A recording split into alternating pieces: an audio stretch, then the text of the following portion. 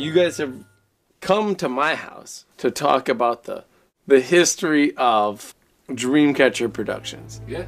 Okay, so Tim's out there in Chicago and he says, This is Chicago.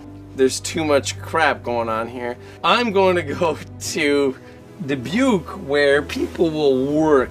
And so he came and was like, I need to make movies happen here. Wasn't there going to be pizza here or something? No. So wasn't there gonna... Tim was interested in talking to a lot of people to find out who he needed to link up with locally. They were always like, "Well, Joe Sherman's always shooting all kinds of stuff all over the place." The uh, the ghost guys from um, from uh, Field of Dreams probably get a hold of him. So Tim got a hold of Joe and said, "Joe, I don't know how to do your voice. I want to make this feature film." Joe said, "I I can help you with this. This is this is this is a this guy's got some talent right here. I think that I can pump thousands of dollars into this guy's idea and it'll work out." And it did. Yeah, you can hear the P.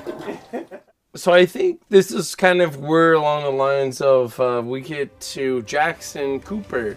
He was the cinematographer on that movie. Tim sought out a a, a, a commercial shoot. Cooper, we've got a shot to do. You're the man to do it. Coop said, "Ay, ay, ay, ay, ay, I'm living in LA. My God, I I live in in the lap of luxury than palm trees and all the rest of the shit. What do I want to move to Iowa for? Been talking to Joe.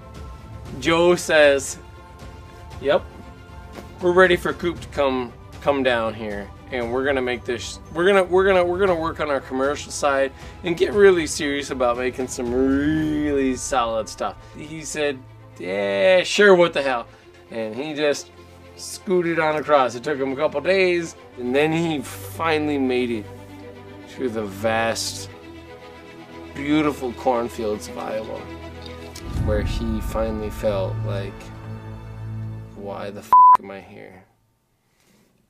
I'm not. I'm not talking about fucking Harriet Tubman right now.